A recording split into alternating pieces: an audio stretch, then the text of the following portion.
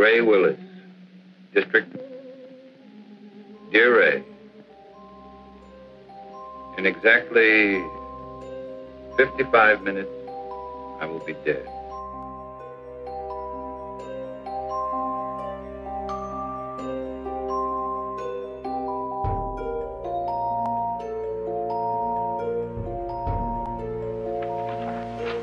Where have you been? I was working late with Phil.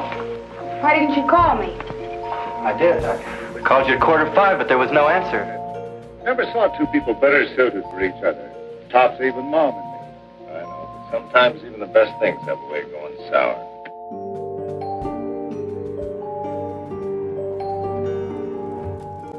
Now, Mrs. Leeds, I, uh, I think we got everything pretty well straightened out. Would you mind going over that first part for me just once more? Well, I. I was sitting in bed reading when Joe came in. First of all, let me explain. I find myself completely sober, reasonably sane, and not at all surprised.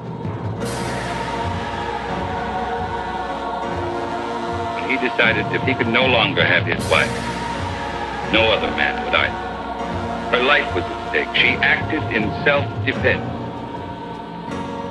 A murderess, Myra. The jury freed me.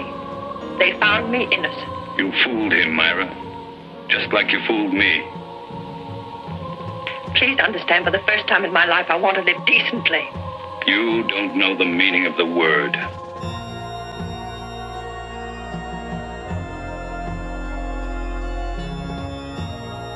Craig!